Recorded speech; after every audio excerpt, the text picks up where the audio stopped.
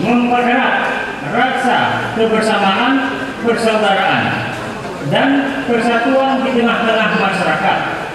Acara ibadah di tempat yaitu untuk kategori vokal anak, remaja putra putri, dan dewasa dilaksanakan di gereja GBI Kota. Sedangkan kategori vokal grup, remaja, pemuda, dan dikategorikan masuk ke gereja dilaksanakan di gereja HKI Kecamatan Sumber Kota.